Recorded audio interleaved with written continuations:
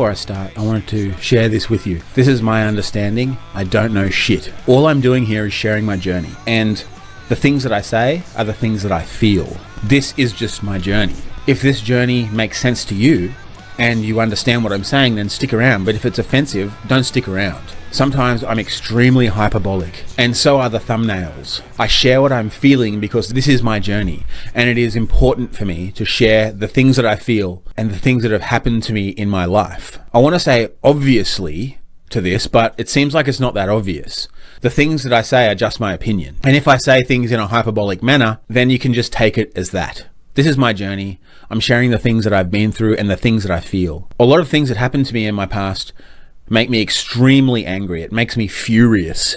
And I'm just sharing those feelings and the reasons why I think this is happening. So, this is my story. This is my journey. If you're a Christian and you don't want to hear offensive things said, then leave. But if you want to stick around, stick around. I really do appreciate everyone. G'day everyone, I'm Ben and this is Counterfeit Christianity. Glad to be here again. It's a pretty chilly morning here in Brisbane. Well, it is for me. I know the guys down south don't think it's cold, but for me it's cold. I just got back from the gym and I'm feeling really good. If you're enjoying this journey, make sure you leave me a like and leave a comment. I really do appreciate it. It really does encourage me when I hear what you guys think. If you feel like it, chuck a comment underneath and let me know that you like it or, or don't like it. But yeah, I do, appreciate everybody who is on the journey with me. Today, I feel like I want to talk about this idea of what's good, right? This conversation about what's good came up with me the other day. I was, I was talking to some people, and a part of the the connections that I have, and the gr- if I do an intentional group that we have together, sometimes we always have a listening time when we sit down and listen to God. And I was explaining to some people because I do some training in the area of facilitating groups and stuff like that, and I was explaining the way that I connect with God every day. And I, I might just share it with you guys. I have in the past shared it, but this is the journey of joy for me and what it looks like. And I think that joy is really powerful because it's the only thing that can get us out of whatever we're feeling. If we're feeling happy, joy is easy, right? Because sometimes people get happiness and joy confused. But if we're feeling sad, joy is very, very important. Sad, angry, scared, anxiety, all of that stuff. Most of those negative feelings come underneath fear. But to free yourself from those emotions, you need joy. And the way that I find joy is talking to God specifically and checking in with Him. What do you want to tell me? And one of the things I've started doing recently, this journey of conversation with God and and getting back to joy daily has changed for me over the years. I used to write down things that I was thankful for, a minimum of three things every day. When I started this journey uh, many years ago, probably a decade ago, I ended up with a list of over 4,000 things. I did it for a really long time.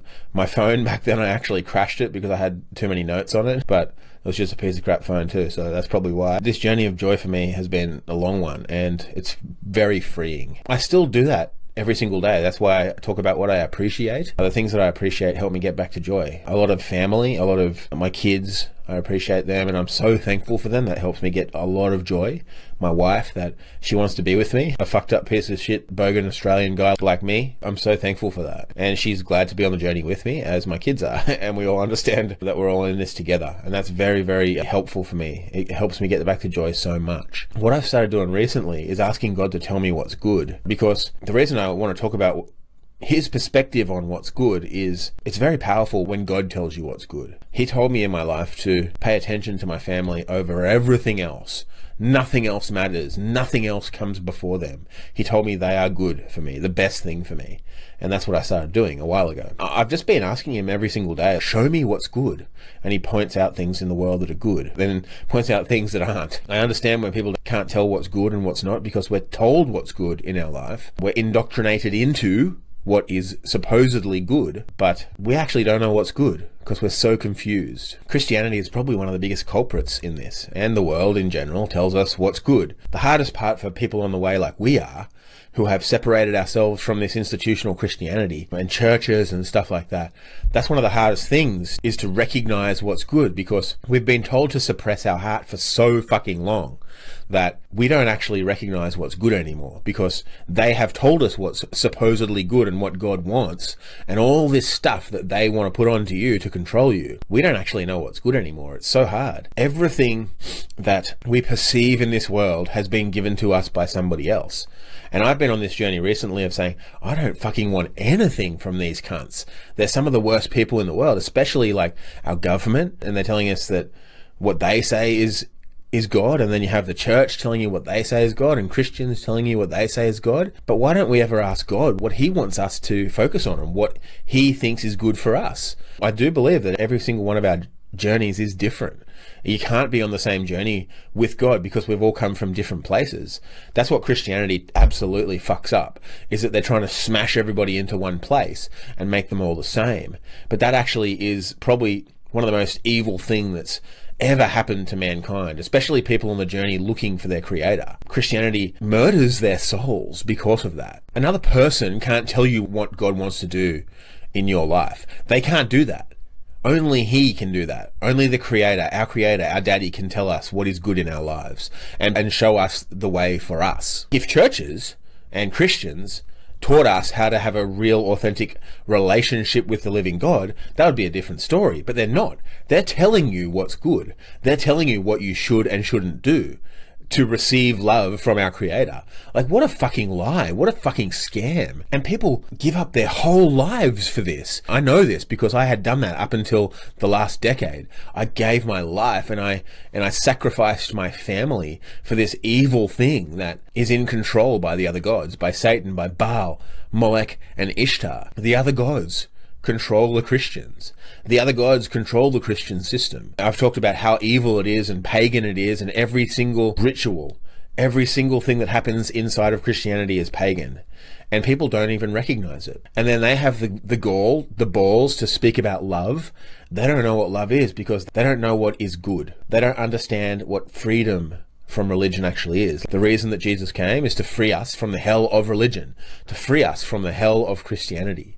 And then these evil people built this system, starting off with the Catholics and Constantine and the Freemasons. They built this system around Jesus so that they can control you. And now these evil Christians, they have the arrogance to tell you that you have to do specific things in order for God to receive you. That's why they are worshipping a different God. They're not worshipping the living God. They are with one of the others. They don't know what's good, so they'll never be able to free themselves from it. They only know what they've been told. And I do understand that, right?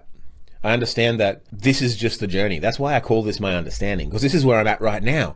And I know that my understanding will flow away from this and move on and get more in the future when God reveals, when our Creator reveals more of what's actually happening to us as we're on the journey with Him. That's why I hate this idea of knowledge, because once you know something, you can't move on from it. And that's where most people in this world are stuck up. They're stuck in this knowledge that they have. Every conversation that I listen to, I love listening to podcasts. My jobs gives me a lot of time where I can just listen. Listen to people's conversations. I really do enjoy that. And I get a lot of understanding about the world from lots of other people. I think it's really great. And that's one of the other things that Christianity tells you is evil is people who aren't Christians, they tell you that they're evil and you shouldn't pay attention to them. But if you're on the way with God, you could pay attention to whatever you wanted and God will speak to you through that. But Christianity specifies a few specific things that you must do and say and look at in order to understand who God is. And that's why it's so captured inside of the box. They'll never understand freedom because they're so captured by the system. So that's why I'm on this journey with God for Him to show me what's good in my life for him to point out what I should focus on. Because I don't know. This world is so big and so massive and there's so much stuff going on, good and evil. One of the awesome things about being with God is that when you're with him, everything becomes good and he flows you in and out of the things that are for you and are not for you. And he takes those parts of you that you want to remove and he removes them for you. It's such an awesome journey. It's a free journey. You don't have to plan. You don't have to do anything. You just have, have to be with him. I love it. For me, it's the most amazing thing that could ever happen that I get to be on the on the way with the creator of the world my daddy, your daddy. That's what Jesus was leading us into. He was showing us who our daddy is. We just want to tie ourselves up with more rules and regulations and systems. But I've had people say in the comments before that systems are not a bad thing. But that's because they've told you that. You don't understand what is good because they have told you that a system is good. And it's not. God hates those systems, a- absolutely despises these systems. I love this journey of God showing me what is good. And every single day I say to Him, God, what's good today? And it makes me feel so much joy because I'm separated from my fear from my anxiety, from this world that pulls us down. When big things happen in the world, I used to be afraid by them. I used to th- see things happen and think, oh no, what do I have to do now to prepare for this? But you don't have to do that because we're with the Creator, we're with our Creator, we're with the living God, our Daddy. And He frees us from the fear of the world. That's what this journey is all about. He's the only one that can tell us what's good we can't even tell ourselves what's good because our perspective is so skewed. Everything that is inside of our head has been put there by somebody else. I would rather that, that the living God, our creator, put what is good into my heart so that I can flow from that. And then I can be free. I don't want to be tied up by some other despicable, evil man who has other plans for you, who wants you to give them money, just like the government, just like the world, just every system. They want to take parts of you away from you. Every system does that. There's no free systems in the world. Every single system, even if it starts off as good, will become evil. Like just say in the future, somebody took me- this message that I was talking about. Like it happened in the beginning, so it could happen again easily. Whoever becomes popular, but this message of pay attention to Jesus, listen to God, and he'll tell you what to do. And they could build a system around that. Well, they built a system around Jesus, and that happened then. And slowly but surely, over generations, things change and people don't understand what's happening anymore. And then they get lied to over and over and over again for centuries. And then they get sucked into this system that tells everybody who is in it that the system is God, that this book is God, that these things that you say and do actually matter that you have to pray a specific way, you have to do good deeds, whatever it is that they say that their God requires of you, they're going to use that as a weapon against you because it's being used against them. They're so unfree. They don't know what's good. Nobody in this world knows what's good. So I don't want to be sucked into the world and be told what's good. I don't want to be sucked into Christianity and be told what's good. I don't want to be sucked into whatever other religion comes along and tells me what's good. I want to be with Him, the Creator, our Creator. We can have that relationship. We're just told that we can't so that they can control our hearts, minds, bodies, and souls. They want you so that they can use you. I don't want that. And I want to show you the freedom of having an authentic relationship with our Creator, with our God, with our Daddy. And nobody owns Him. I can imagine how frustrating it is, but I think it's the story of man. It's the history of all of us forever since the beginning. Even Adam did it. He, he stood back and let Eve get fucked over because he's weak. That's the, the history of the world is men standing back and being weak and not protecting their families, seeing something else as more important, letting somebody else tell them what's good. But anyway, I just thought I'd talk about that today. I didn't mean it to take this long, but sometimes I get to speaking and I can't stop myself. anyway, uh, I love it. I really appreciate you guys who are on this journey with me. Please, if you like what I'm talking about, if it makes sense you, just share a comment with me. It's very encouraging. The negative Christians, the haters, they share it because they are they're angry and they and a lot of people I've noticed just leave a comment based on the picture that I make, and I do that intentionally. I, I, intentionally make really provocative pictures because it makes people look. There's a lot of stuff pulling for our attention, and I do it intentionally. So they they'll leave a big, massive comment about how I'm burning in hell, and a lot of the times how they love me and they're feeling sorry for me, but I receive Christian love because it's just so evil and, and venomous, and they spit it on you like a snake because they don't know what's good. Their their daddy is Baal and they're stuck inside of that. But yeah, let me know what you think. Leave a like, share it with people if, if you think somebody might understand and, and be want to be on this journey with us. But yeah, I do appreciate you guys. And like always, this is my understanding. I don't know shit. I love it so much. I love this journey. I love the freedom that it brings. So anyway, I really do appreciate you guys and I'll see you next time.